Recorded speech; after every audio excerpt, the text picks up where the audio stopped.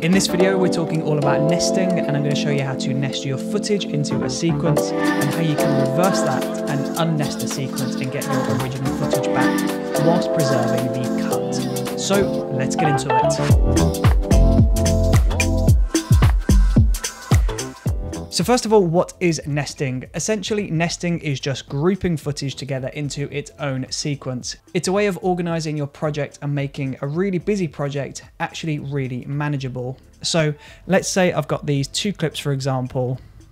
If I just select everything, we'll right click, select nest, we can rename this nested sequence, but I'm not going to in this example. We'll press OK, and it's going to turn those two video clips into one video clip, as you can see. So as you can see, it's going to turn all of those video clips into one clip, which means regardless of what we do to this clip, the original cut inside the nested sequence will stay the same.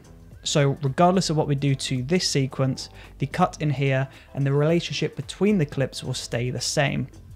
Now, let's say I go into that nested sequence and let's say I add loads of different cuts. I remove all of this stuff here.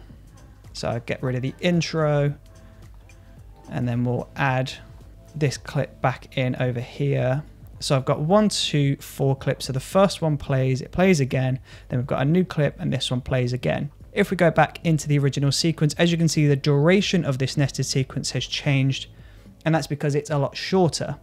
So I can just pull this over to the left, pull it back over to the right, and now the nested sequence has adjusted to be the same duration as what it is inside the nested sequence. So nested sequences are great, they're really useful, but if you've nested some footage and you decided you didn't actually want to nest it, then how do you unnest footage?